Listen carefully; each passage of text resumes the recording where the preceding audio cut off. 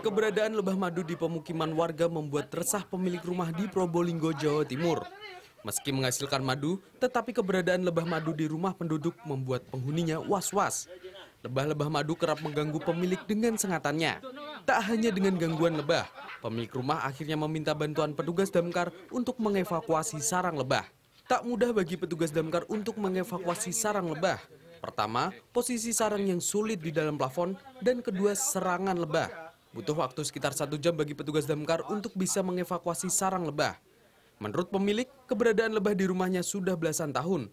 Pemilik sebelumnya sempat mengusir kawanan lebah yang bersarang di plafon, namun entah bagaimana, lebah selalu datang kembali. Sejak 10 tahun lebih dah. 10 tahun lebih ya. Iya. Tapi mulai mengganggu barusan-barusan ini ya. Dulu pernah pernah neror, cuman sekali aja. Sekali ini sehari bisa dua kali. Dua kali. Kira-kira ada banyak ini sarang sarangnya. Kemungkinan banyak. Ini tertutup eh, triplek-triplek ini. Usai mengevakuasi sarang lebah, petugas damkar menyerahkan madu hasil perasan kepada pemilik rumah. Warga Samarinda Utara, Kalimantan Timur diresahkan dengan kehadiran ular pasca banjir menerjang.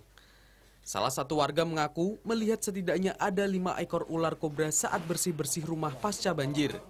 Warga akhirnya meminta bantuan petugas damkar untuk menangkap ular kobra itu. Namun, saat dilakukan penyisiran, petugas tidak menemukan ular kobra yang dimaksud. Petugas justru mendapati anak ular piton yang masih berusia satu bulan. Tadi pas lagi beres-beres, nah kita kan mau bersihkan yang di halaman samping. Mau buka kardus, ternyata ada ularnya. Ularnya itu lagi ngumpul.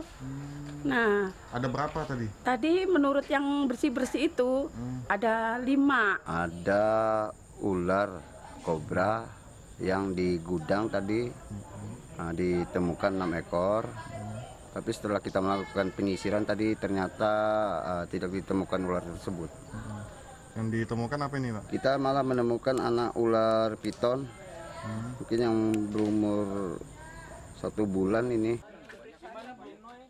Petugas mengimbau warga agar selalu waspada dengan kehadiran ular pasca banjir.